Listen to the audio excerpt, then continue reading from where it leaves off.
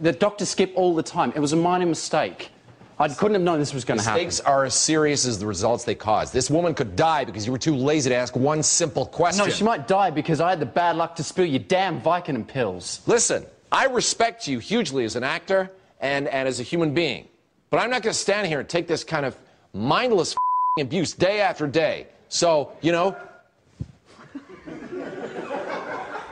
Oh, listen to me, you Antipodean fleck of bum fluff. Every single day I take this from you. The hair is adorable. I don't deny that. The figure is svelte.